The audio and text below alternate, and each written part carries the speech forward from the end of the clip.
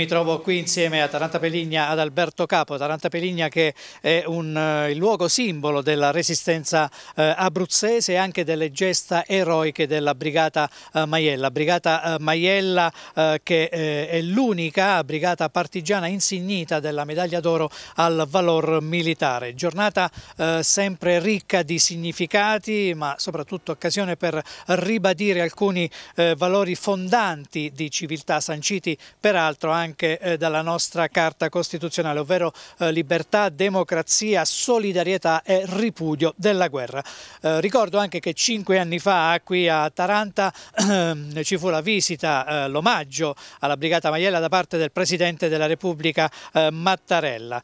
cerimonia sempre emozionante in cui oltre alle istituzioni e all'AMPI, l'Associazione Nazionale Partigiani e a CGL, CISL e WIL hanno preso la parola anche alcuni studenti del liceo scientifico eh, di Casoli per raccontare alcune testimonianze eh, che hanno sentito magari dai loro eh, nonni. Ed ora due contributi che abbiamo realizzato poco fa proprio al termine della manifestazione, una manifestazione accompagnata da una splendida giornata di sole. Il primo contributo che sentirete è con il sindaco di Taranta Peligna Giampaolo Rosato e poi sentirete il segretario nazionale dello SPI CGL Stefano Landini e su questo eh, vi saluto, la linea può tornare a voi. È una storia plurale, è una storia condivisa, è una storia di popolo, è una storia spontanea noi ci scordiamo sempre, noi pensiamo alla storia come un qualcosa di lineare, alla fine vincono gli alleati e non era così. Tutti quanti si unirono quando tutto era ancora in dubbio e si rischiava davvero la vita ed erano ragazzi, erano uomini che finita la guerra, finita questa lotta di liberazione contro uno degli eserciti più potenti e spietati del mondo, tornò alle proprie case a fare quello che avevano sempre fatto, lavorare e spesso vennero anche dimenticati. È la storia di tutti.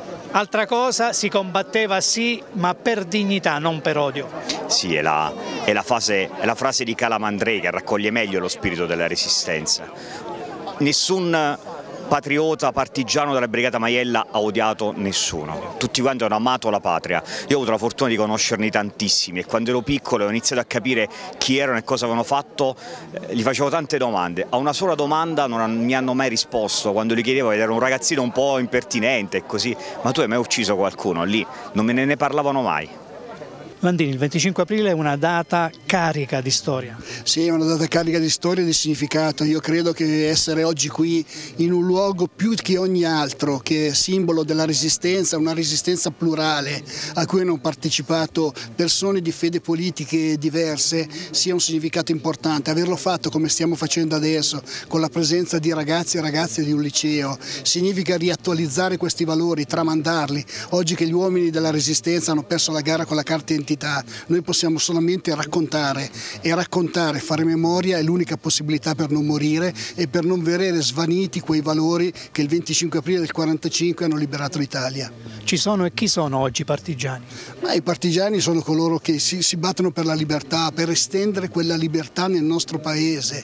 Eh, certo, noi il pericolo del fascismo eh, non si ripresenterà più in camicia nera, a parte che noi un anno e mezzo fa come CGL abbiamo avuto devastata, devastata stata la sede, ma però ci sono questioni dirimenti dal punto di vista delle libertà che vanno salvaguardati, penso al fatto eh, che chi nasce in Italia, qualsiasi sia il colore della pelle, è un italiano, che le donne non sono di proprietà degli uomini, che le famiglie si fanno tra le persone che si vogliono bene, punto, e che il fascismo è un crimine. Tutte queste cose eh, lasciano ancora uno spazio per i democratici, per gli antifascisti, per costruire un'Italia migliore.